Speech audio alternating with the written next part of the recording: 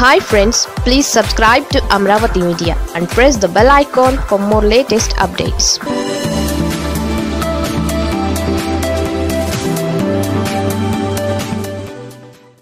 Pawan నిర్ణయంతో జనసేనకు కాపులు దూరమవుతున్నారా? చంద్రబాబు నాయుడుతో చేతులు కలిపేటప్పుడు జనసేన అధినేత పవన్ కళ్యాణ్ ఏం ఆలోచించారో తెలియదు. కానీ చేతులు కలిపిన తరువాత మొదలైన రియాక్షన్ మాత్రం పవన్కు పూర్తి వ్యతిరేకంగా ఉంది. జగన్మోహన్ రెడ్డి ప్రభుత్వానికి వ్యతిరేకంగా ప్రజాస్వామ్య పరిరక్షణ పేరుతో ఇప్పుడు చేతులు కలిపినా మెల్లిగా ఎన్నికలలో పొత్తు పెట్టుకుంటారని అందరూ అనుకుంటున్నదే. కాకపోతే బీజేపీ విషయంలోనే వీళ్ళిద్దరూ ఏమీ తేల్చుకోలేక అవస్థలు పడుతున్నారు. సరే ఇప్పుడు చంద్రబాబుతో పవన్ చేతులు కలపడాన్ని కాపులే జీర్ణించలేకపోతున్నట్లు అర్థమవుతోంది.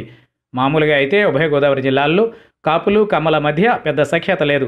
అలాగే బీసీలు కాపులకు బద్ధ విరోధం ఉందన్న విషయం అందరికీ తెలిసిందే. అయితే తాజాగా కృష్ణా జిల్లాలో కూడా కమ్మవారిని కాపులు తీవ్రంగా వ్యతిరేకిస్తున్న విషయం మెల్లిగా బయటకు వస్తోంది. ఇది గుంటూరు జిల్లాకు కూడా పాకుతుందేమో చూడాలి. కమ్మ వాళ్ళతో పవన్ చేతులు కలిపితే తాము ఎందుకు అంగీకరిస్తామంటూ కొందరు కాపులు బాహాటంగానే పవన్ను తప్పుపడుతున్న వీడియోలు వైరల్గా మారాయి.